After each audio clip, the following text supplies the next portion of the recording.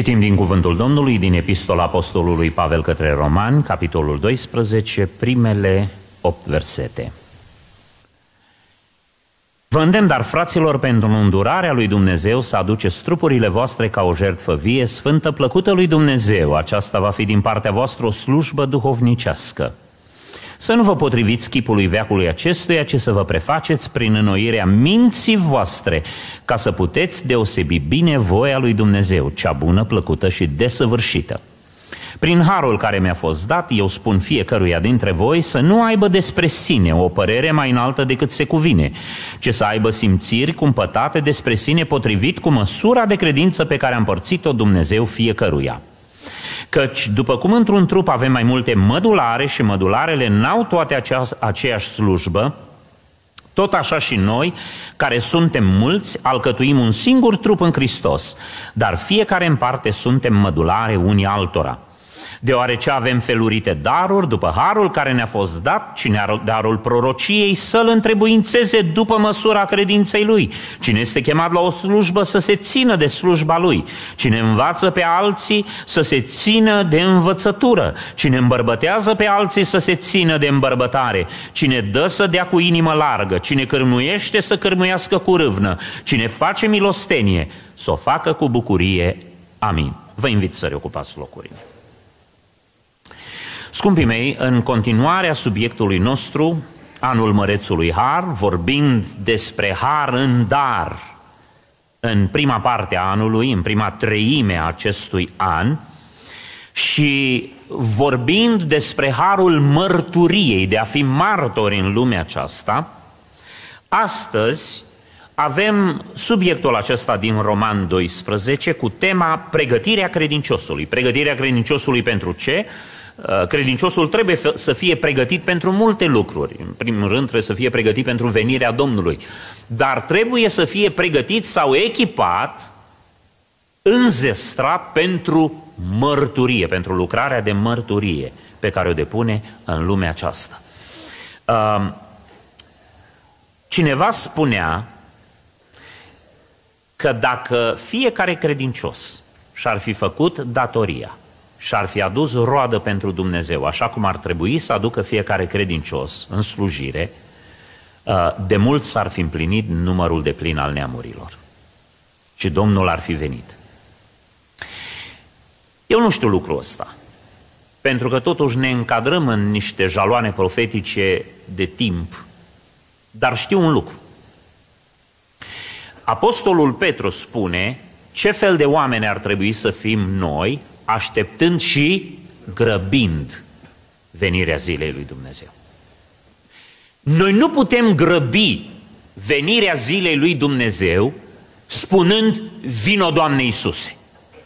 Dorința aceasta nu valorează mult dacă nu este însoțită de râvna de a propovădui, de a mărturisi pe Domnul, de a aduce suflete la cunoștința Evangheliei. Și textul acesta are trei cuvinte cheie pentru Biserica Domnului Isus Hristos, pentru credincioșii Domnului, cu privire la mărturia pe care trebuie să o depunem în lume pentru a duce oameni la mântuire. Vreau să spun întâi de toate, la începutul fiecărui an citim textul despre uh, smochinul neroditor. Nu știu dacă dumneavoastră ați văzut vreodată cum arată un smochin. Uh, toți pomii sunt frumoși, în felul lor. Unii sunt stufoși, cu frunze frumoase, alții, cum sunt brazii, nu se nu cad frunzele, nu se feștejez niciodată, sunt frumoși în felul lor. Palmierii sunt frumoși în felul lor. Dar un lucru e foarte interesant. Cu excepția perioadei în care înfloresc, când sunt de o frumusețe extraordinară, pomii fructiferi, pomii care rodesc, să știți că nu se remarcă în mod deosebit prin frumusețea aspectului lor. Nu te duci în fața unui măr, a unui piersic, a unui vișin. Și nici în fața unui smochin să-l admiri, să spui ce frumos este. Domnul a trecut pe lângă unul care n-avea roadă și nu l-a admirat, deși avea frunze. L-a blestemat, pentru că n-avea roadă. Și pomul din grădina gospodarului, care a spus stai el. Gospodarul nu s-a oprit în fața lui și a spus, ce frumos e pomul ăsta. Vezi, noi admirăm, trăim într-o vreme în care ecologia contează foarte mult și admirăm pomii. Mare lucru să ai un pom în curte, mare lucru să ai un pom în fața casei, mare... pomii sunt frumoși, ne plac. Am fi putut să zic, e adevărat că nu face roade, dar uite, e frumos, e, are frunze, e pom. Nu. Un pom care nu face roade nu are niciun rol estetic în împărăția lui Dumnezeu. În împărăția lui Dumnezeu există o singură estetică, estetica roadelor. N-are roade? Ascultați cum interpretează gospodarul care îl reprezintă pe Dumnezeu. Face umbră degeaba pământului. Face umbră pământului degeaba. Și noi folosim cuvântul ăsta și cu privire la anumiți oameni. Când crește copilul și îl vezi că nu-i prea harnic, nu-i prea vrenic, nu prea se dă dus la muncă, ce îi spui? Mă, nu face umbră pământului degeaba. Să știți că sunt credincioși care fac umbră pământului degeaba, pentru că nu rodesc pentru împărăția lui Dumnezeu. Și acum ascultați, pentru a rodi, pentru a mărturisi, trebuie să fim echipați din trei puncte de vedere. Nu există rodire, nu există mărturie în împărăția lui Dumnezeu fără aceste trei precondiții. Prima este calitatea de mădular în trupul lui Hristos. Nu sunt acceptate în împărăția lui Dumnezeu nici fapte bune, nici caritabile, nici morale, nu sunt acceptate în economia împărăției lui Dumnezeu decât acele fapte făcute în Dumnezeu, acele roade făcute în Hristos, doar în calitate de mădular al trupului. Ăsta este unul din motivele pentru care înrolarea în slujba lui Dumnezeu, mărturia lui Dumnezeu este acceptată doar de cei care dețin această calitate de mădular al trupului lui Hristos. Nu avem nevoie de profesioniști care să ne cânte. Mi-au aminte că odată a făcut o orchestră mare și frumoasă Și am văzut la repetiție și zic, da, domșoarele alea două de acolo, alea spocăite? Zice, da, cântă foarte bine. Zic să cânte la filarmonică, nu în biserică.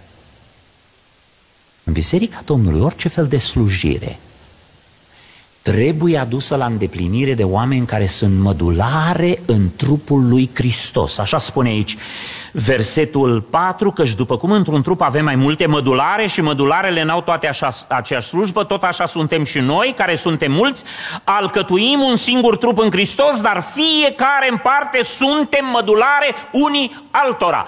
Nu se poate face slujire și nu se poate face mărturie decât în calitatea de mădular în trupul Domnului Isus Hristos. De ce una din marile probleme pe care le avem în ultima vreme sunt multe celebrități care chipurile se pocăiesc. Dom'le, și mădularul ăsta, până e altoit, până se integrează, până trebuie să treacă o perioadă de obișnuință. Am văzut, nu știu dacă ați văzut, cum potrivesc ăștia o ramură de pom fructifer într-un alt pom, cum o crestează, cum o pune înăuntru, cum o bandajează, cum o lasă o perioadă să se prindă. Dacă ai desfăcut bandajul imediat, nu s-a făcut nimic acolo, nu se, nu, nu, nu se leagă.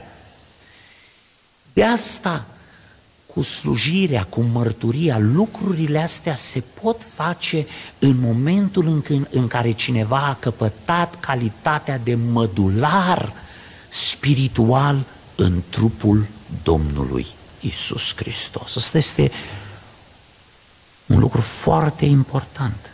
Al doilea, nu numai calitatea de mădular, ci și măsura de credință. Măsura de credință.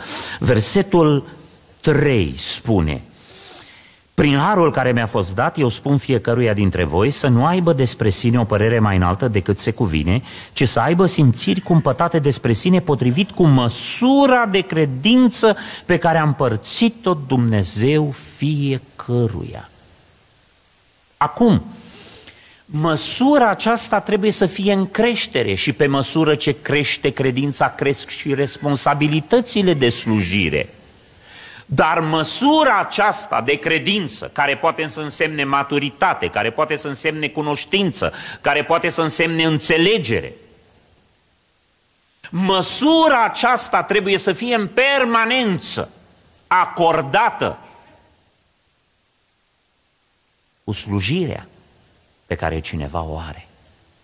Nu pot sluji deasupra măsurii de credință. De asta trebuie să avem păreri cumpătate cu privire la noi înșine. Uh, de exemplu, și eu acum aș putea să mă sui aici sus pe Anvon, să încep să umblu, să încep să... De parcă ar fi o sută de mii de oameni aici. Fiecare trebuie să aibă năsucul la nivelul lui.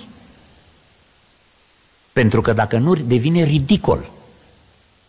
Și căderea în ridicol este atunci când un om crede că are mai mult decât are. Se poartă de, de parcă are o măsură de credință mai mare decât o are.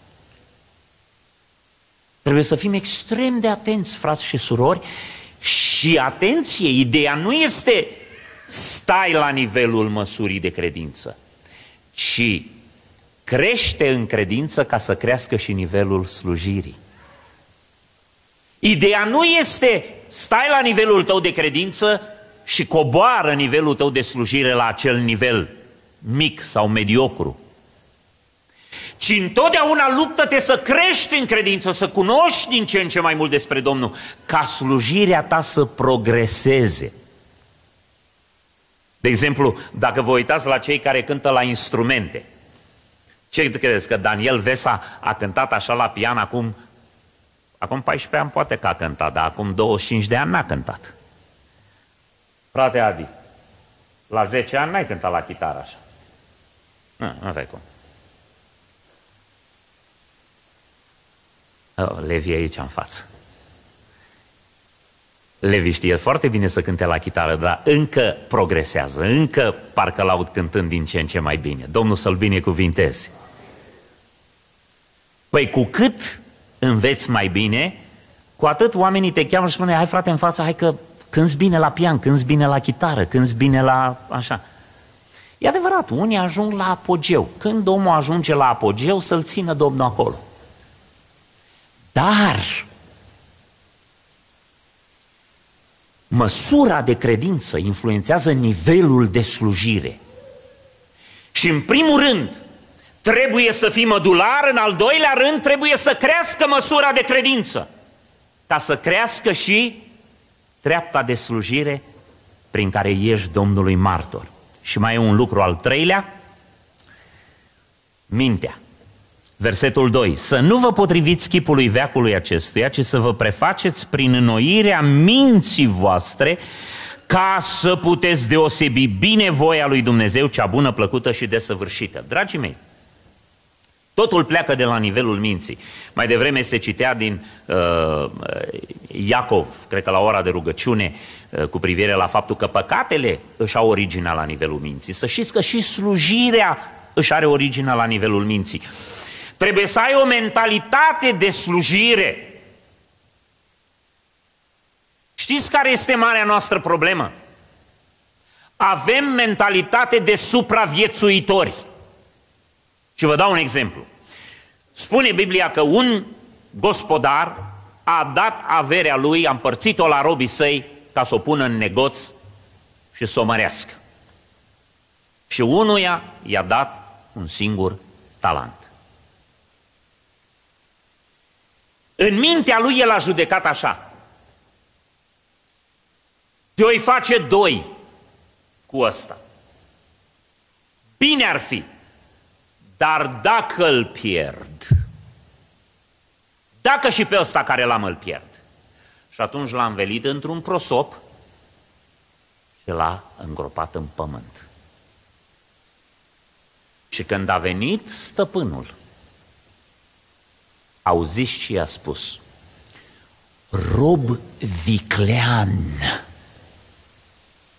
Dragii mei, când nu folosim darul cu care ne-a înzestrat Dumnezeu și, e adevărat, trebuie să lucrăm la nivelul minții și la nivelul sufletului, al inimii, să identificăm poziția noastră în trupul lui Hristos, ce fel de mădular suntem, care e slujba noastră? Este învățătură, este îmbărbătare, este dărnicie, este cărmuire, este milostenie. Ce este? Care este poziția mea ca mădular în trupul lui Hristos? Să ne dea Dumnezeu înțelepciune să ne găsim locul. Și nu locul altuia, fiecare să-și găsească locul lui în trupul lui Hristos și acolo să stea, că acolo se potrivește. Nu încercați să băgați steluța în pătrat sau să băgați cercul în triunghi. Că nu merge. Copiii de la cele mai mici uh, vârste învață să pună formele geometrice compatibile acolo unde le este locul. Așa e și în trupul lui Hristos. Fiecare avem o formă și o dimensiune care se potrivește într-un singur loc.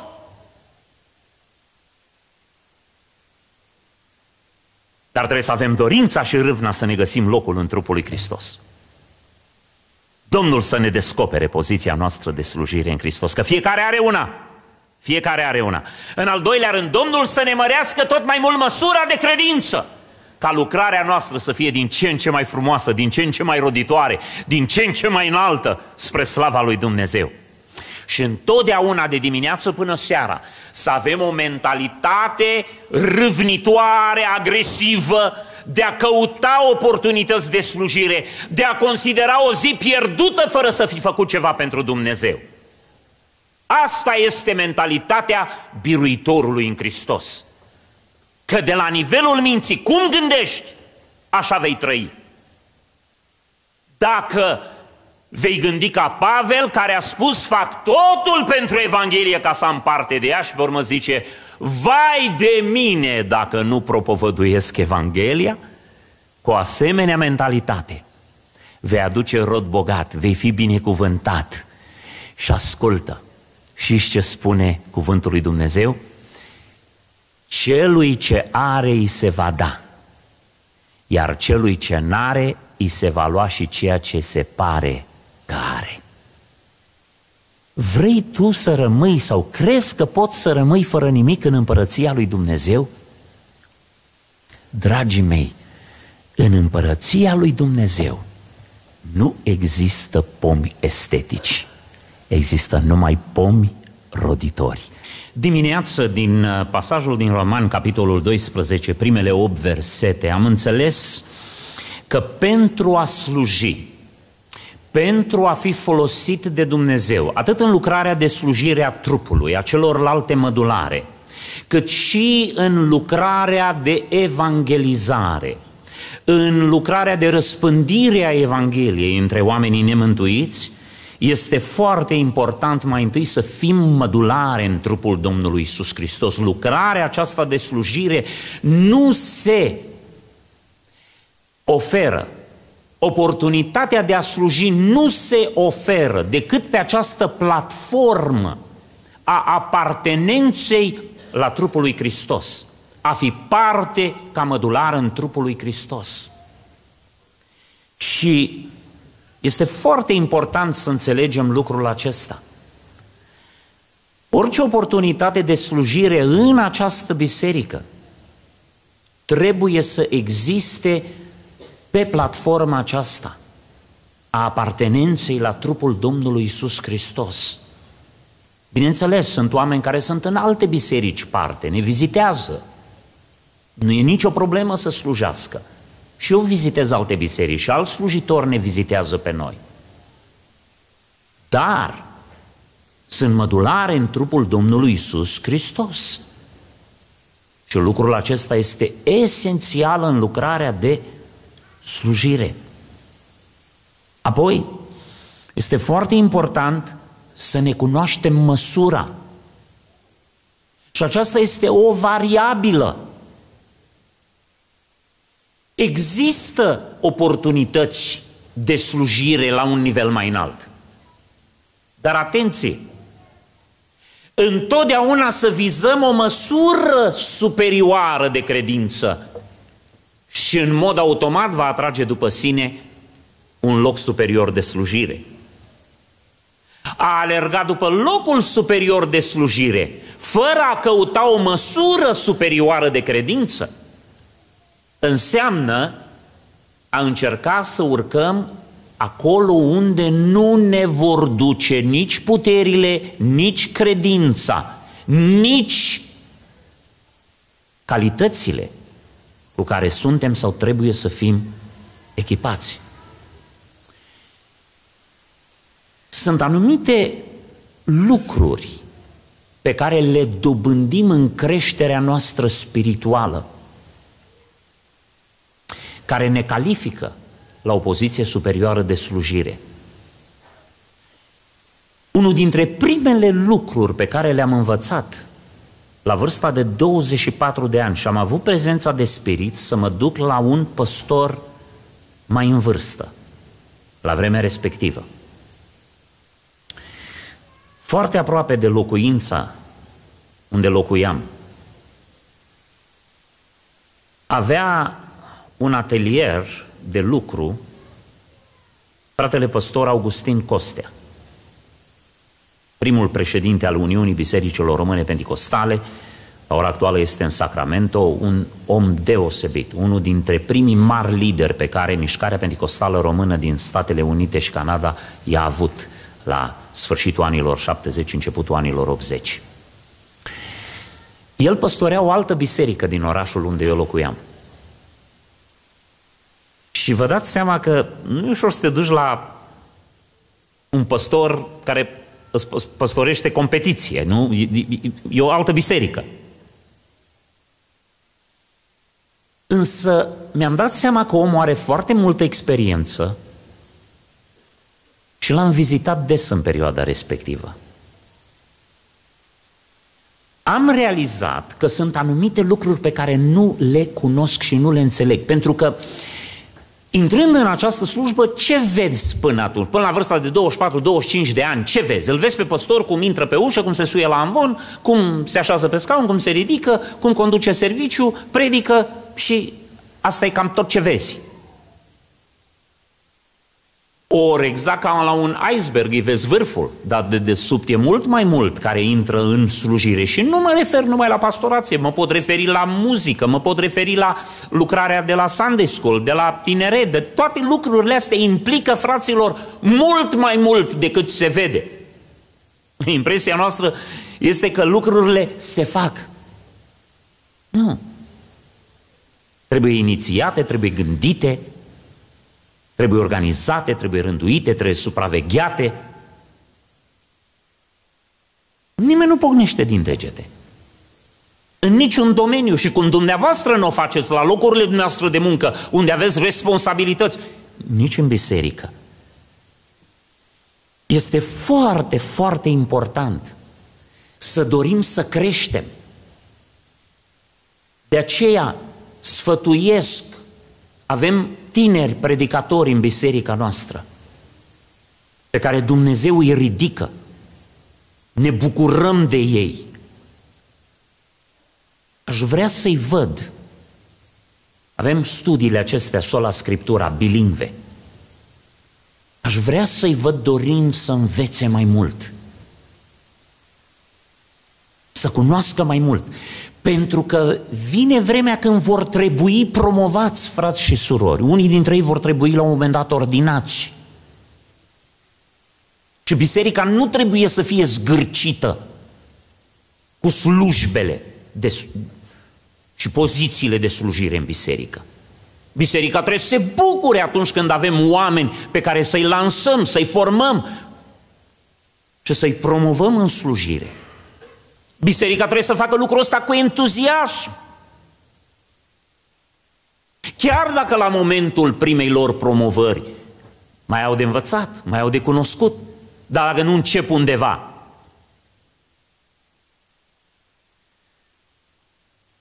Absolut. Însă, trebuie ca pe măsura acestei promovări să existe intenția, dorința de a crește, de a se forma. Vreau să vă spun o cheie care se leagă foarte mult de ceea ce fratele Adi spunea mai devreme.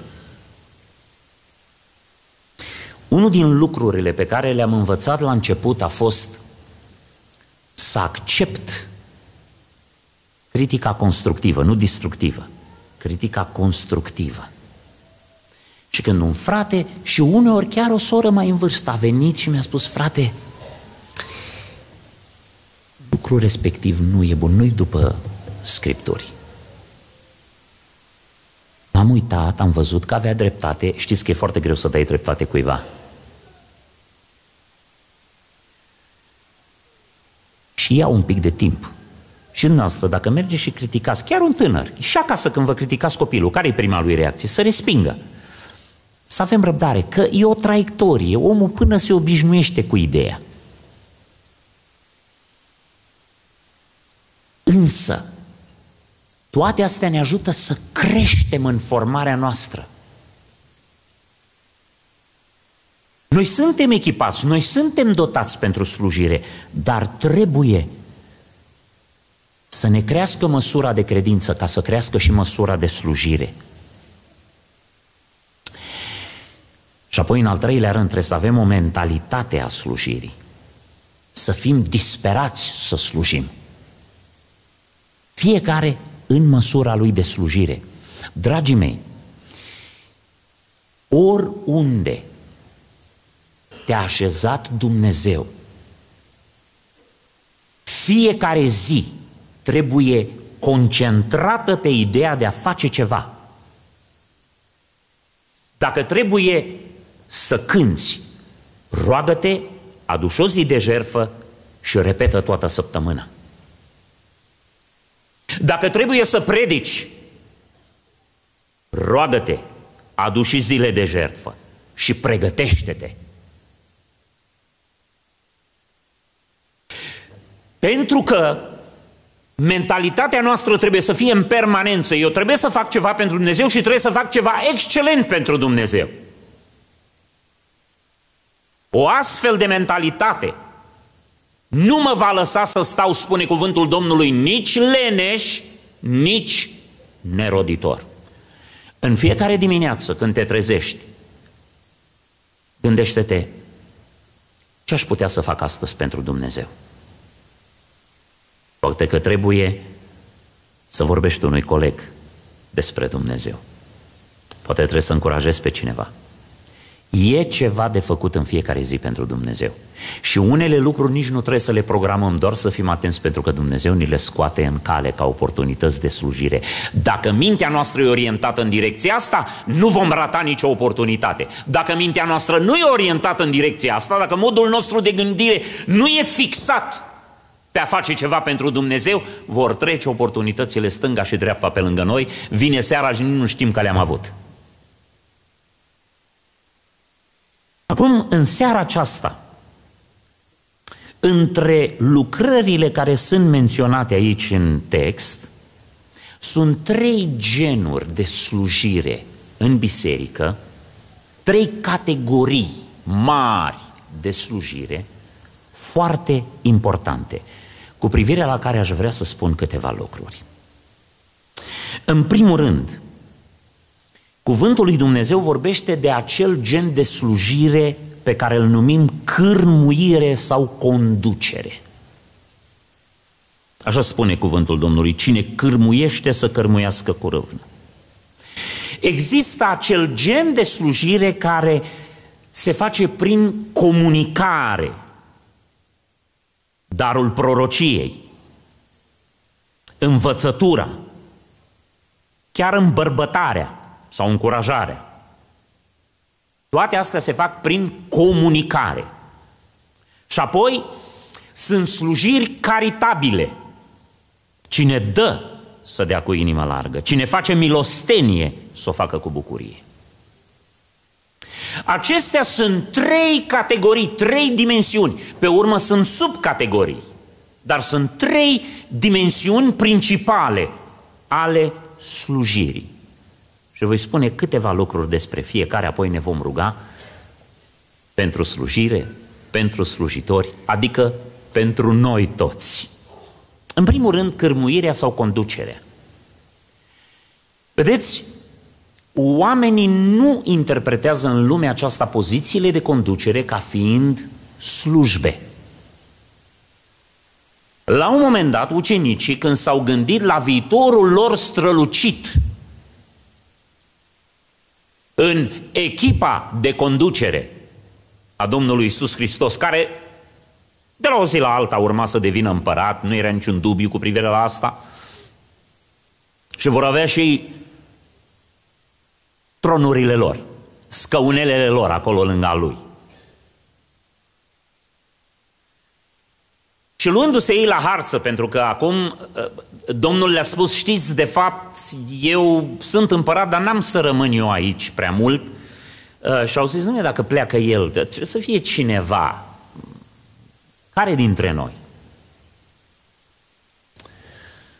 Și ascultați, s-au luat la ceartă și nu s-a întâmplat odată. Și am motive să cred că nu s-a întâmplat nici de două ori, s-a întâmplat de mai multe ori. Și Domnul e mereu și mereu forțat să le dea o lecție de slujire și de zmerenie. Vă aduceți aminte că înainte să meargă la cruce, când ar fi avut nevoie să fie în mijlocul unei armonii totale, și ei să-l încurajeze. a legat ștergarul și s-a plecat la picioarele lor ca să, ca să le mai dea încă o dată o lecție de slujire. Și el le spune așa ucenicilor.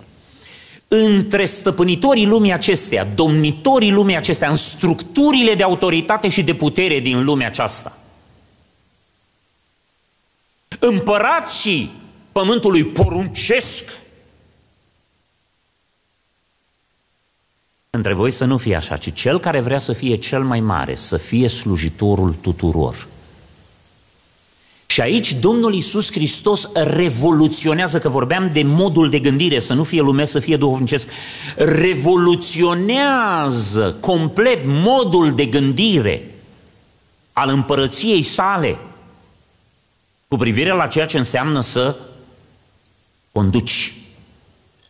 Conducerea este o formă de slujire. Acum, este foarte adevărat că este o formă de autoritate. Uh, am stat o dată de vorbă cu cineva și din discuție în discuție am ajuns la ideea de pastorație și am spus, nu există nicio slujbă în lumea asta unde subordonații tăi să fie șefii tăi, iar subordonatul tuturor să fie conducătorul tuturor. Și totuși din această controversă, tensiune de idei extraordinară, Domnul creează cea mai sublimă relație între autoritate și slujire. Și vă rog să observați ce le spune corintenilor. În 2 Corinteni, capitolul 1, o biserică nărăvașă, o biserică cu probleme, care nu întotdeauna a ascultat de autoritatea apostolică. Și le scrie în 2 Corinteni, capitolul 1, de la versetul 23, Iau pe Dumnezeu martor față de sufletul meu că n-am mai venit până acum la Corint tocmai ca să vă cruț. Avea autoritate de stăpânire. Le predicase credința și veniseră la mântuire prin el. Și avea multe motive să se plângă de starea de dezordine și de lucrurile rele care se întâmplau în biserica din Corint, certuri de partidă, scandal, lupte, lucruri bârfe, competiție și chiar păcate grave. Dar ascultați, în versetul 24 spune, nu doar că am avea stăpânire peste credința voastră. Și avea. Există o autoritate pe care ne dă ungerea pe care o avem. În versetul 21 spune, și cel ce ne întărește împreună cu voi în Hristos și care ne-a uns este Dumnezeu. Dar nu doar că am avea stăpânire peste credința voastră, dar vrem să lucrăm și noi împreună la bucuria voastră, căci stați tari în credință. Ce se întâmplă? În, în toată harababura aceea din Corint, exista totuși un lucru bun și Pavel se fixează pe lucrul ăla bun și spune E adevărat, avem probleme, avem necazuri, trebuie să le, să le reparăm. Îi mustră cu asprime, le dă directive, trebuie să pedepsiți rău, trebuie să-l scoateți afară din mijlocul vostru, trebuie una, trebuie alta. Dar la sfârșit ideea este că oamenii ăștia, pe traiectoria lor de formare după chipul lui Hristos, au rămas în credință, nu s-au lepădat de credință. A rămas intactă temelia, platforma pe care trebuie lucrat ca biserica aceasta să devină o biserică din ce în ce mai bună. Și dacă vă uitați, în a doua epistolă către Corinteni, Pavel este chiar impresionat în urma primei scrisori și spune extraordinară. În urma cuvintelor mustrătoare pe care vi le-am trimis, s-a produs o asemenea întristare în voi. V-ați judecat, v-ați dezvinovățit. Nu v-a lăsat Duhul lui Dumnezeu liniștiți până când n-ați făcut ce trebuia să faceți ca să păstrați un standard de moralitate, de sfințenie la nivelul cerut de Dumnezeu. Dar atenție, frați și surori! Niciodată autoritatea aceasta nu este o autoritate pe care vreun om să o aibă în sine însuși. Este o autoritate pe care o are doar în Domnul. Când l-a părăsit Dumnezeu, s-a prăbușit totul de sub el. Iată de ce Apostolul Pavel spune la un moment dat, căutăm noi să placem oamenilor sau căutăm să placem lui Dumnezeu.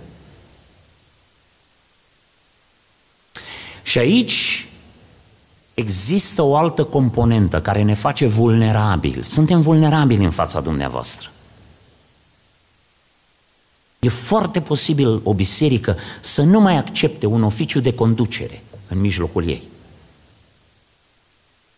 Întrebarea se pune.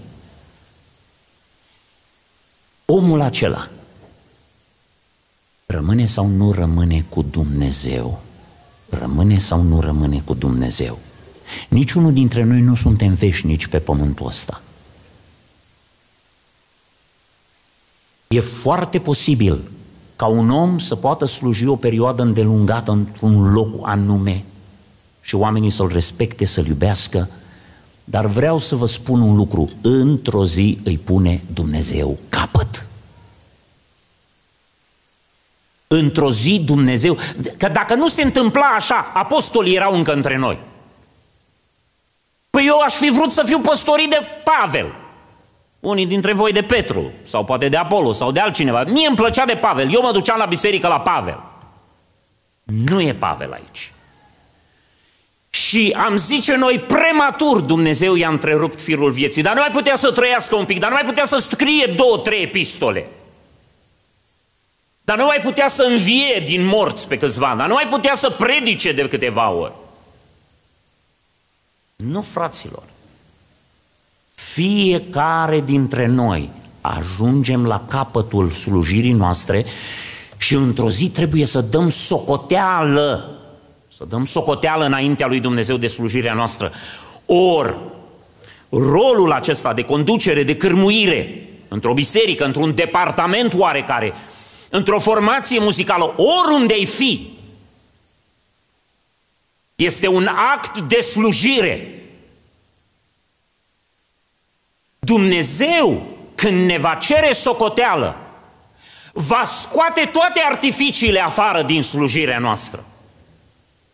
Momentele când ne-am simțit importanți, Momentele când am crezut că suntem băgați în seamă, momentele când ne-a plăcut că suntem foarte populari și foarte acceptați, zilele în care ni s-a suit fumul în cap și am crezut ceva despre noi, toate astea vor arde ca niște vreascuri, pentru că sunt lemne, trestie, fân, paie, lucruri care ard. Dumnezeu va ține cont din cârmuirea, din slujirea noastră, numai ceea ce a însemnat slujire autentică. Într-o zi Dumnezeu va da la o parte din predicile noastre, din cântările noastre, din pozițiile noastre, toate lucrurile care n-au fost slujire. Și nu va fi răsplătit decât ceea ce a fost slujire. Poți să fii păstorul unei biserici, poți să fii președintele unei organizații, poți să fii ce vrei tu. Dirijorul unei formații, liderul unui departament, nu contează ce ești. Există o autoritate în aceste lucruri. Că cineva trebuie să spună altuia, stai acolo, du-te acolo, mergi așa și fa așa. Nu se poate altfel. Fără structuri de autoritate nimic nu funcționează în lumea asta. Dar Dumnezeu cunoaște motivațiile interioare, cunoaște spiritul cu care facem lucrul ăsta. Și într-o zi, Dumnezeu, din toată slujirea noastră, din toată lucrarea noastră, hai să-i spun așa, va scoate tot ceea ce nu este slujire. Răsplătită va fi doar slujirea. Slăvit să fie Domnul. Mm. Mm. Cât o să ardă din construcția asta pe care o clădesc eu?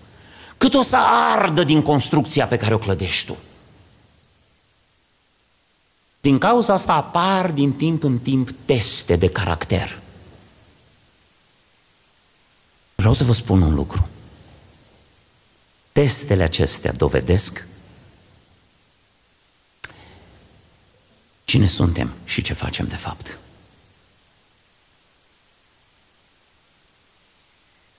Am stat de vorbă cu un slujitor foarte amărât, din anumite motive obiective, pentru că a căutat să placă mai mult Domnului decât oamenii. S-a gândit că nu va trece de votul bisericii. Și am avut o conversație cu el, m-a sunat și m-a întrebat Frate, acum lucrurile sunt sub semnul întrebării. Ce fac dacă nu trec? Am spus, mai omule, eu nu știu ce vei face, dar eu am să spun că prin ceea ce vei face se va dovedi dacă ai slujit sau nu. Pentru moment a trebuit să mă pun în locul lui. Într-o asemenea zi ce aș face? Și a fi grațios, a fi plin de dragoste și de grație, într-un moment în care ești dezamăgit, profund rănit și amărât. Este cel mai înalt semn al unei slujiri autentice. Am spus, du-te, mulțumește-le oamenilor și dorește-le binele și fă tot ce depinde de tine în continuare ca să fie bine. Pentru că asta dovedește dacă ce ai făcut tu până acum, apreciat sau nu de oameni, va fi apreciat și răsplătit de Dumnezeu. Cârmuirea, conducerea, nu este o stăpânire autocratică, este un mod răutăcios de impunere a unor puncte de vedere personale, ci este o administrare a valorilor împărăției lui Dumnezeu potrivit cu cuvântul lui Dumnezeu, în mod ferm și autoritar, dar întotdeauna pentru binele oamenilor. Pentru binele oamenilor și în mod vulnerabil, pentru că vedeți dumneavoastră, când Domnul Iisus Hristos a venit pe pământ, El era Dumnezeu. Și ce spune El pe cruce? Aș putea să îl rog pe tatăl meu să trimită zece mii de îngeri și să vă spulbere pe toți pentru că nu mă ascultați. De asta biserica n-are tancuri, n-are tunuri, biserica n-are puști, biserica n-are lucruri prin care să impunem stăpânirea noastră. Este un lucru comun acceptat, general acceptat, pentru că în trupul lui Hristos e înțeleasă relația aceasta între mădulare. Trupul lui Hristos acceptă că există poziții de cârmuire. Dar prin consens în dragoste, prin acceptare reciprocă. Și întotdeauna înțelegând că o poziție de cărmuire nu e cu nimic mai mult sau mai puțin o poziție de slujire a oricăruia dintre noi. Cu alte cuvinte, dragii mei, fiecare dintre noi, indiferent cine cui spune ce să facă, fiecare dintre noi Trebuie să tratăm aceste lucruri ca fiind o slujbă. Că numai asta va fi răsplătită de Dumnezeu. Apoi, prin comunicare, prin comunicare. Comunicarea este direct din partea lui Dumnezeu prin prorocie și cuvântul lui Dumnezeu aici vorbește despre prorocie, cine are darul prorociei să-l întrebuințeze, după măsura credinței lui, este o formă de comunicare a unui cuvânt specific al lui Dumnezeu pentru viața cuiva sau pentru viața unei biserici. Este o formă de comunicare, slujire prin comunicare. De asemenea, prin învățătură, a da învățătură din cuvântul lui Dumnezeu. Aici este o mare responsabilitate. Pentru că în momentul în care te-ai ridicat în fața la câteva sute de oameni și vorbești, Aici nu vorbești prin prisma talentului tău oratoric. Că-ți merge gura, că-ți merge mintea, că ești ascuțit. Întrebarea aici se pune nu numai că știi să comunici, ci ce comunici. Și nimeni nu are dreptul în Biserica Domnului Iisus Hristos să comunice altceva decât cuvântul lui Dumnezeu. Aici noi nu ne comunicăm opinii și păreri. Noi comunicăm principiile și valorile eterne ale cuvântului lui Dumnezeu. De opiniile mele puteți asculta sau puteți să le respingeți. Dar de adevărul lui Dumnezeu nici eu, nici voi nu ne putem ascunde. Iată de ce foarte mulți oameni pierd atunci când irosesc acest timp prețios Credeți că e ușor să ții oameni să te asculte o jumătate de oră? Ia încearcă, du-te la serviciu, încearcă să vorbești o jumătate de oră, să vezi că se uită ăștia pe pereți, îți întorc spatele. Numai Ceaușescu putea vorbi o oră, jumătate și nimeni n-avea voie să miște. Dar întrebați, dacă îi întrebați după aia ce a zis, Aici trebuie să folosim timpul acesta la maxim să comunicăm adevărul lui Dumnezeu, cuvântul lui Dumnezeu și nimic altceva. Dumnezeu să ne ajute la aceasta. Și apoi, slujbele de caritate. Să dea cu inimă largă, milostenie, să o facă cu bucurie. Toți avem lipsuri de un fel sau altul și avem nevoie de ajutor, avem nevoie de intervenție altora. Uh, una dintre cele mai teribile forme de mândrie este a omului care nu vrea să depindă de nimeni. Una dintre cele mai dăunătoare trăsături de caracter în biserică este omul care nu vrea să depindă de nimeni, care nu are nevoie de ajutorul nimănui. Nu vrea să știe nimeni că e bolnav, nu vrea să știe nimeni care are lipsuri, nu vrea să știe nimeni ce-l doare. Păi, dacă mâna nu te-ar durea și n-ai ști că e o infecție acolo, ai trata-o? Nu. Și mâna te-ar omorâ. De ce să fie mădulare în trupul lui Hristos care nu strigă au atunci când le doare? Tocmai pentru aceste dureri și suferințe avem oameni echipați în jurul nostru. Nu întotdeauna trebuie să fie slujitori ordinați. Sunt oameni aici în mijlocul nostru care au un dar extraordinar de încurajare. Știu că sunt, pentru că am avut de-a face cu ei în momente în care am avut mare nevoie de încurajare. Să-i ajute Dumnezeu să-și facă slujba, e mare nevoie de slujba lor și uneori slujba lor e de la om la om, nevăzută, sub radar, dar extrem de prețuită și va fi mult răsplătită de Dumnezeu. Vreau să închei spunând trei lucruri pe care le citim aici în text despre aceste dimensiuni ale slujirii, în cărmuire sau conducere, în comunicare și în caritate. Mai întâi de toate, slujirea trebuie făcută în mod responsabil. Cine are darul prorociei, să-l întrebuințeze. Cine este chemat la o slujbă, să se țină. Cine învață pe alții, să se țină de învățătură. Cine îmbărbătează, să se țină.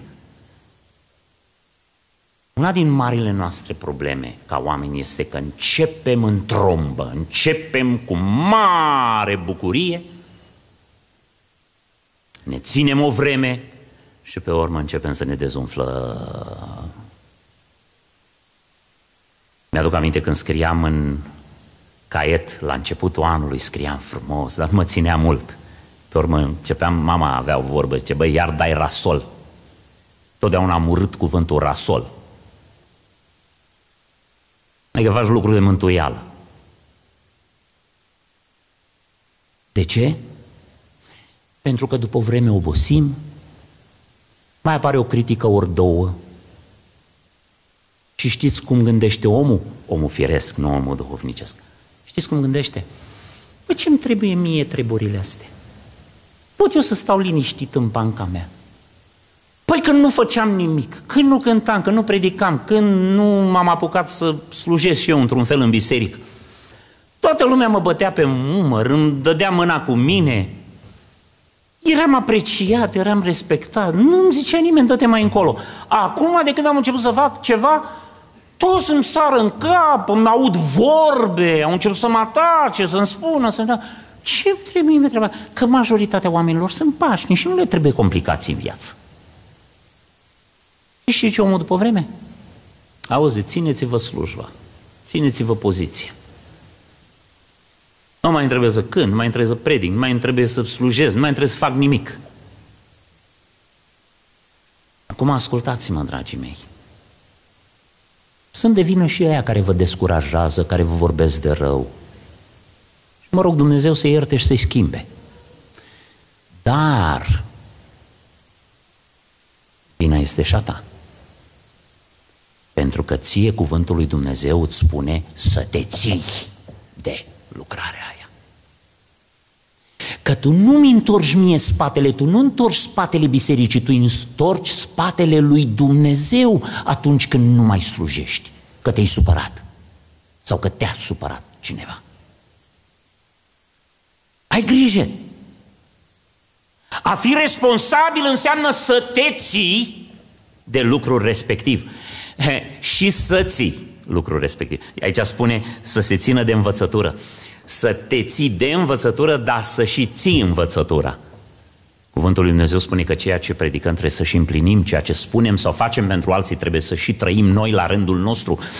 Trebuie să fim responsabili în a continua să ne facem slujba fără întrerupere, fără dat înapoi.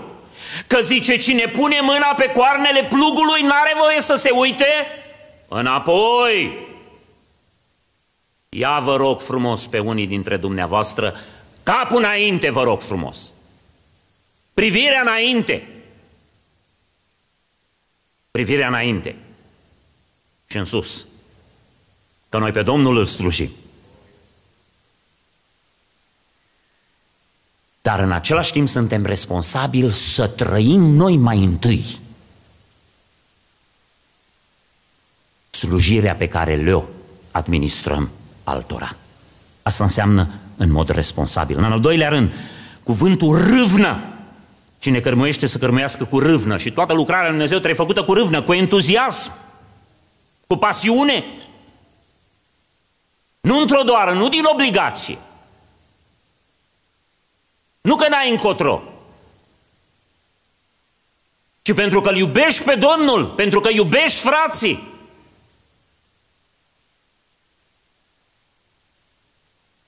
Asta înseamnă cu râvnă. Și apoi fără rezerve.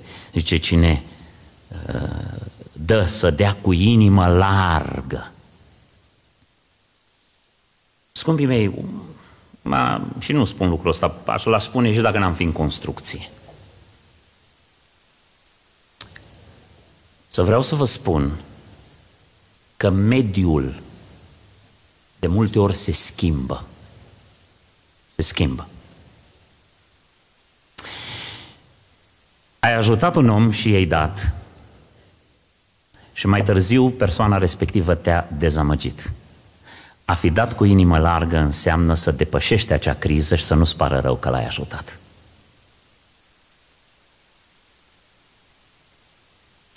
În orice domeniu a face ceva pentru Dumnezeu, cu inimă largă, fără rezerve, înseamnă niciodată să nu te uiți în urmă și să spui, îmi pare rău că...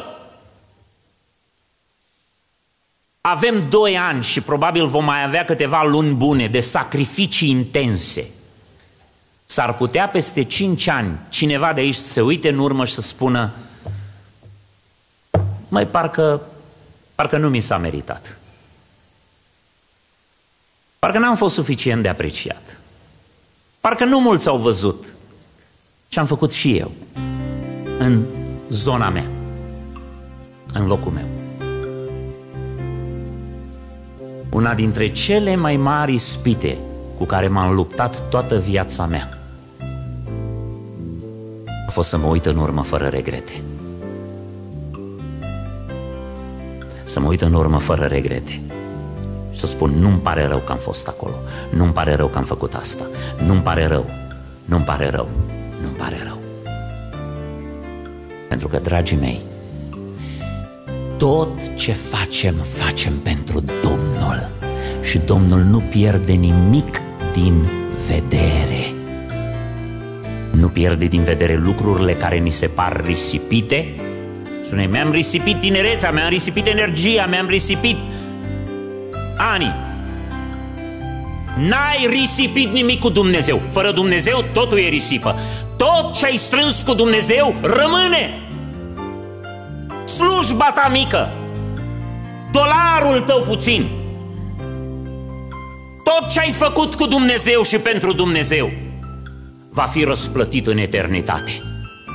Pentru că nu noi suntem aceia care decidem și calculăm în mod real impactul slujirii noastre în viața altora.